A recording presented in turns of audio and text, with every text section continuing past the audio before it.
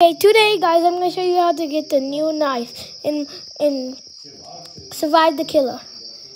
The first code is Happy Holidays. It'll get you it'll get you the candy cane. I already redeemed it. That's it'll get you this if you say ha Happy Holidays. It'll get you this knife.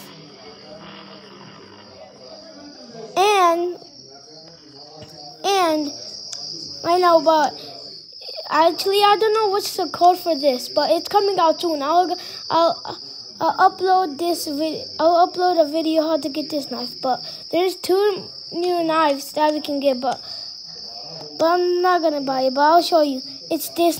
These are both limited knives. You can buy these, but I'm not. I don't want to buy these because I don't have enough money right now.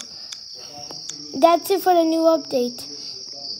And there's there's no new killers. There's zero killers.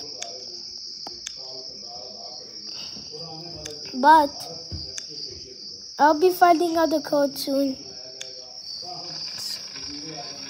And I wanna and and this and I'll show you guys how to get a new code in driving simulator tomorrow.